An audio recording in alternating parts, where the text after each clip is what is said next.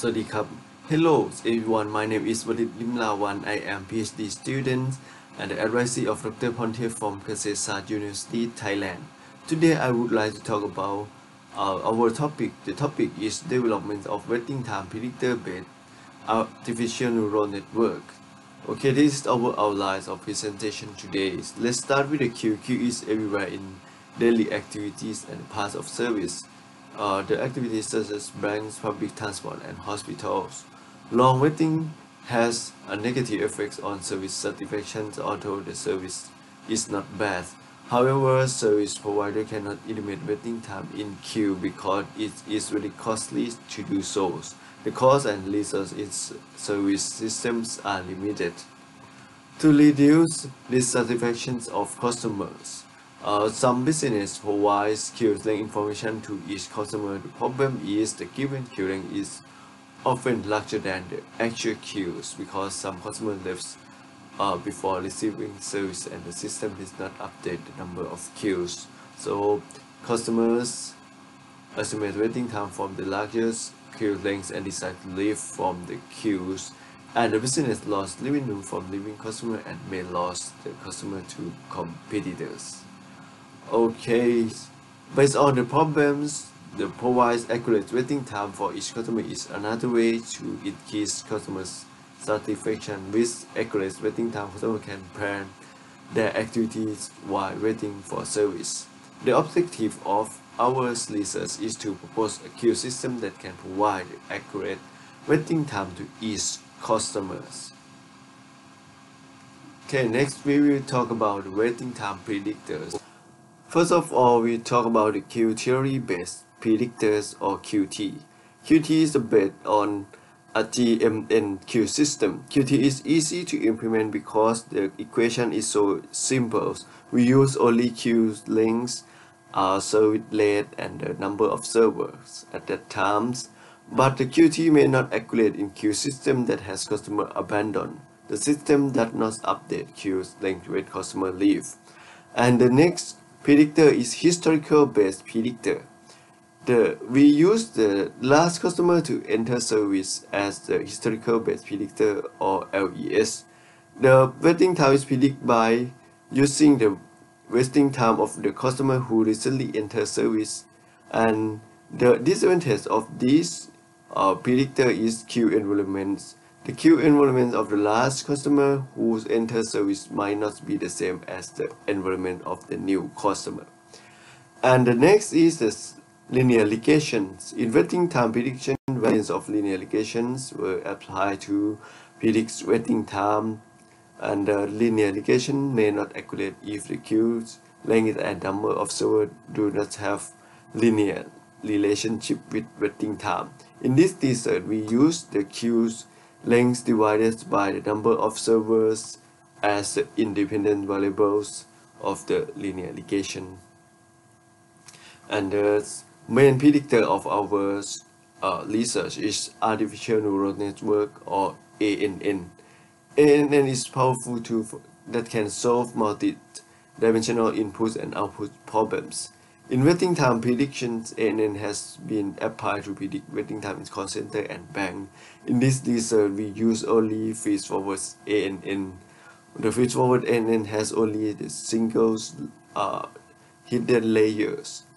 Uh, the, in the uh, hidden layer, we use the hyperbolic tangents, sigmoid functions, uh, and we use the linear function as the activated function in the output layers. This is the symbols and ends that we use in our research.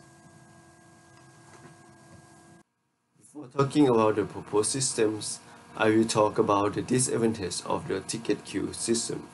Uh, the disadvantage of ticket queue is inaccurate queue information. The ticket queue system does not update queue lengths when customer left the system before receiving service. Queue length and estimate waiting time is often larger than the actual queues. So from the, the problems, we developed the proposed queue system. The main concept is update queue information. We update queue length from waiting area and update uh, number of counter or servers and update service list from the counter areas. And for update queue length, we use video surveillance and computer vision. And for the average service time, we use exponentially weighted moving average control chart.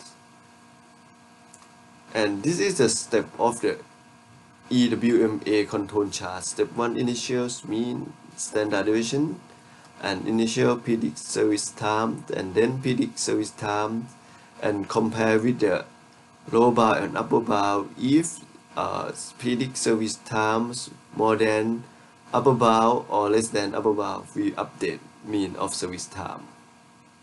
And once we got the information from the system we send the information to the predictor. This in this example we send to the ANN predictors uh, queue length service time and number of counters and we will predict uh, waiting time from that information. This is the concept of our proposed system.